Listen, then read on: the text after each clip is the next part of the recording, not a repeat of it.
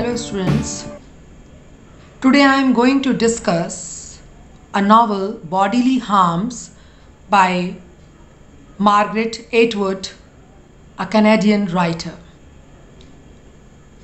She has written this novel in 2007 which deals with the story of Rennie, the heroine of the novel.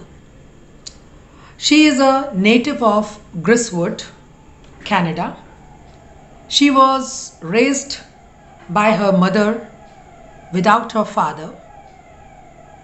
After her completing her education, she went to Toronto to get her higher education and becomes a journalist.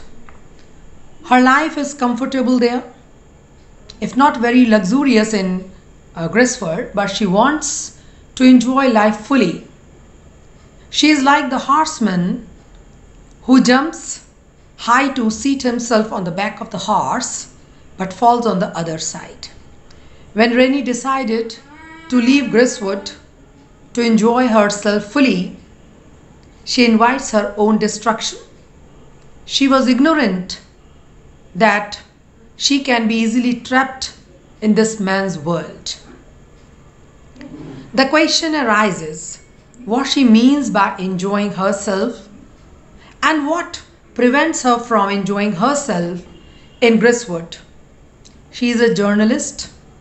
Yes, she dreams of royal life. Now she is left only with her own way, that is to climb the ladder of prosperity by virtue of her attractive uh, body. As Griswold is a small place where people they have their own moral code. Rennie knows it. She fails to imagine the danger in the world where man have immense power she is ready to visit that place. Then she decided that she will start her own career in her own style. She started living in a live in relationship with Jake, though there was no commitment between them. They were living together and no promises were there but Jake was the man who gave her physical and sexual satisfaction. The life was going easily, but suddenly a turn came in her life in the form of breast cancer.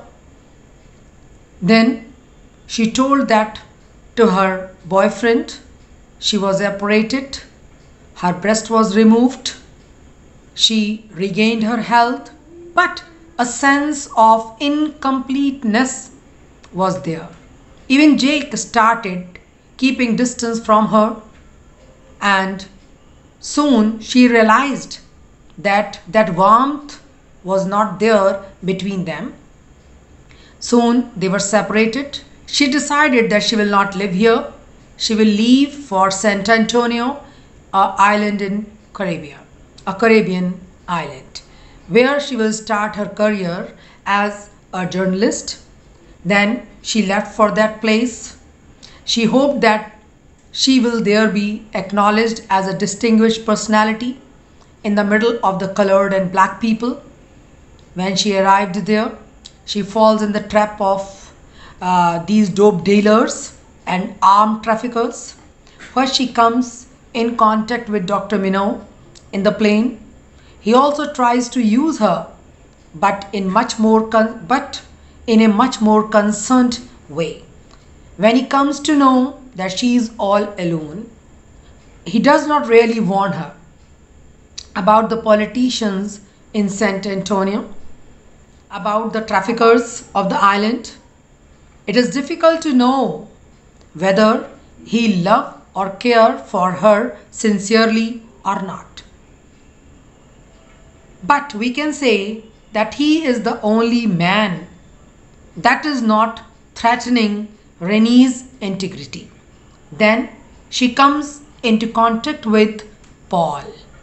who was a man who deals in arms and after meeting Paul she realizes that he is the man after Jack whom she dreams for. Now, without much bothering and making much queries about Paul in that unknown island, she was in the relationship with him. Now, she feels much sexually satisfied, and it is here after Jake she finds that satisfaction which she was missing for a long time. And in this way, Paul also took the full advantage of her body and another character Lora was there whom Rennie does not know that she is one of the members of the group of Paul. But with the help of Lora, indirectly, Paul kept on exploiting uh, Rennie. And Paul, too, uh, as he was an armed trafficker, everybody knows about it except Rennie, that she is fallen in victim of this person. Now, there was a revolution which is nipped in the bud in the island in which Paul played a very important role. It is said that he was the person who has supplied guns in that revolution to Marsden, Marsden and the Prince of Peace and Dr. Minnow. All of them were killed. Paul disappeared without warning Lora or Rennie that they should also make a safe escape from that place. He only warned them that they should be careful and they should leave this place as soon as possible. But he has made no arrangement for the safety of these girls. He used them and threw them. Soon, police caught them on the doubt, on the basis of suspicion, and she was sent to some jail where she found that Lora was already there and she found also that Lora she is having relationship with these policemen with the hope that they will do her favor but when Rennie made her realize that this is not right then Lora stopped but it was now too late. The policemen ha- started harassing her.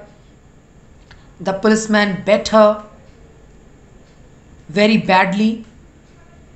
And now both the girls they realized in the end that there is no hope for them that they may be able to come out from the jail. Nobody is there to help her. And in the end of the novel, Rennie feels the hands of her grandmother who are searching for Rennie. Rennie started searching the hands of her grandmother in that small cell of the jail, and through this, Margaret Atwood wanted to convey this message that these hands they are an extension of brain. It could mean that Rennie is hoping for someone to come for her, to help her, and Rennie pays the penalty for leaving Griswold. If being satisfied with the life there, if she had remained there and had worked there, she would not have ended in jail. So, this is the end of the novel. Through this Margaret Atwood shows in bodily harm both the paradoxes of the world and builds each personality in order to create a complex wave. She invites the readers to follow the heroine through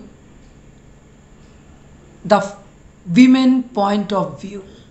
Though Margaret herself is a feminist, she has no hesitation to show that trouble comes not only from men every time, but women too have some failures. They also make mistakes. However, she regards all who have weaknesses and suffer misunderstanding because almost anyone can identify with her characters. The author points out the facts of life and compels. She thinks how we can do better. The novel gives us the impression that the world is not a fit place for women, for a simple woman like Rennie.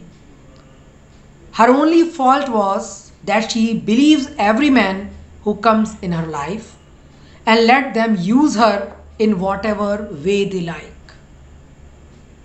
Here, in the novel, the question arises in our mind had she not left Griswold and been satisfied with her life there, she would have not ended in jail in the last. Because, according to the novelist, women need protection, seek shelter, and men, knowing all the weaknesses of women, they take all the advantage of their vulnerability. They know that women are vulnerable and that is why Rennie too, she has become the victim of this man's world. So, in the end, Margaret Atwood wanted to tell that to have ambitions is not bad, but to fulfill your ambition, if you don't make any policy, if you don't make any plan, it is going to do harm. It is going to bring miseries and misfortunes in your life as it brought in the life of Rennie. She was ambitious. She thought that she is beautiful and with her smartness she will be able to win the world. But if you wanted to win the world, you have to keep your roots strong. This mistake was committed by Rennie that she cut off her relationship with her family. She never cared about her family in the rest of the novel. Only in the end, she recalls her grandmother when she was in the jail and she realized this fact that she is not going to uh, be out of jail in future and she has to die here. So, this novel, Bodily Harms, gives a great lesson to the young girls who are very, very ambitious and who are ignorant enough, not experienced out of the outside world. That world is not so good.